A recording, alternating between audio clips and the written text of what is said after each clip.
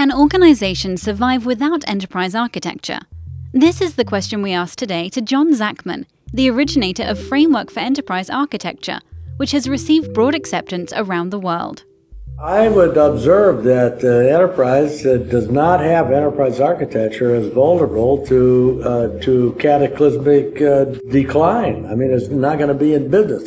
If the future is consistent with all the business authors that we read these days. You know, the future holds extreme complexity, extreme rates of change. If you do not have architecture, you can't accommodate complexity and change. That's the way humanity for 7,000 years has uh, accommodated uh, uh, complexity and change is architecture. If you don't have architecture, you're not going to accommodate complexity and change. If you don't accommodate complexity and change, you're not going to be in business. It's going to be over. The game is going to be over.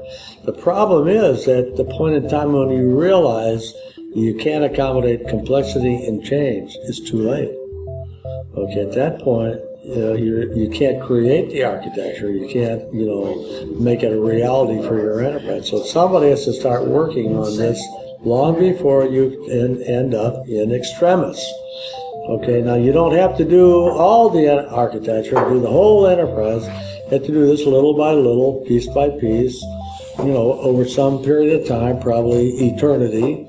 You know, and the way I would do it is I would do it business, you know, CEO problem by CEO problem. I just factor out each problem, what the primitive components are, populate my architectural construct, then build out the complete architectural models, and that way I can build out the architecture, you know, the complete architecture over some period of time, infinite period of time, little by little, uh, iteratively and incrementally.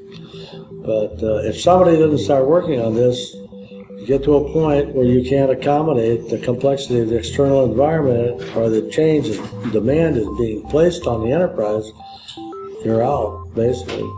So this is really probably the issue of the century. For more enterprise and solution architecture insights, visit tesira.com.